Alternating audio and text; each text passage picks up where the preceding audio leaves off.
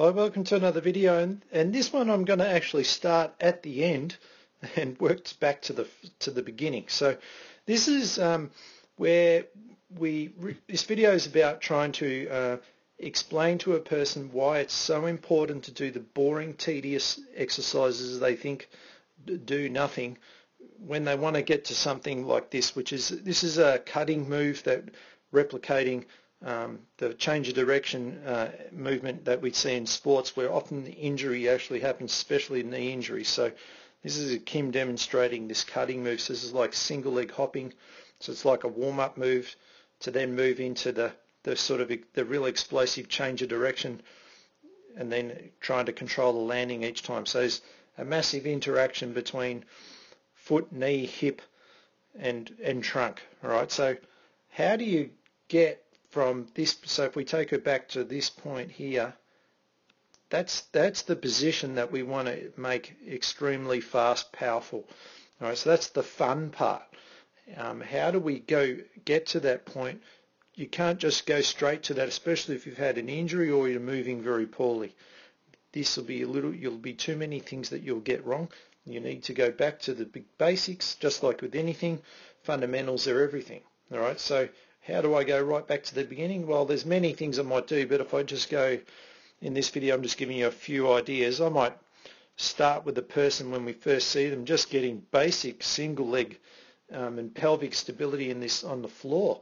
So removing all of the moving factors, um, even removing the foot as a problem here, right? And just getting that person to get some basic hip extension from the floor. And this is a stepping stone to the next thing, which is always going to be harder than the one than, than what they're doing right now. All right, so um, so I might start with the several of these as a strength exercise. I might use a, a, a basic version where I'm using a stick on the leg. Can check on the on the videos um, that I've done before on that. And they're very useful in teaching the person how to maintain an optimal stability. Then I might move into using um, TRX type things where where we've again cheating on the stability to get nice alignment and good timing through ankle, knee, hip uh, and even trunk and trying to teach the person this is the alignment we're looking for. So th this is a single leg squat, not a deadlift. So we, we are sort of quite upright and this is where we're building a lot of quadricep strength instead of just posterior chain. All right, so this is a, a, a stepping stone to the next thing. Right, and this these skills that need to be developed in the early stages, we're removing a lot of the risks and a lot of the, the mistakes that we would see in things to come, especially in that last movement. So once we've developed that one, then we might start working with um, a toe touch drill. So this is our basic stability drill. And, and the purpose of this one, which I've done many videos on this before, is for that person to now learn how to control the alignment. All right, so they're learning how to control the alignment while they're working in a 360 degree um, uh, range of motion with, with both legs.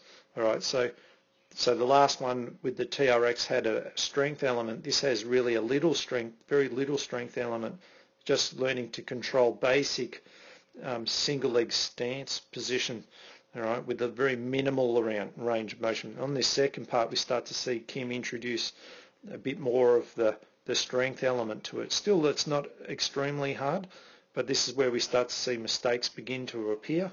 Um, and until you master this, you won't be able to move forward to the next one because the mistakes will be even bigger.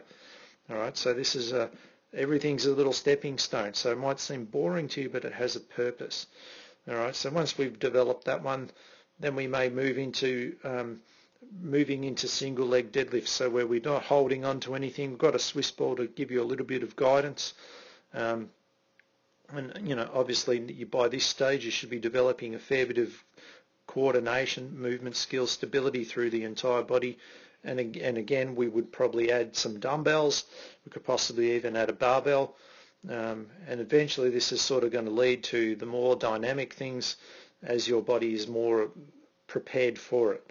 All right, so there's no way we could move to the fast things if you don't get these things first. And obviously, like there's a lot of mobility things I might need to use around this, um, even two-leg um, exercises as well. But just to give you an idea of how they flow from from where we were at the end at, at the start of the video, which was the end, to now getting into this point where we're, we're able to move more dynamically. So without all those ones before that, I'll never be able to get this right. All right. So now she's really landing in that single leg deadlift position that we just saw. And, and this is where we're trying to learn to control the stance. All right.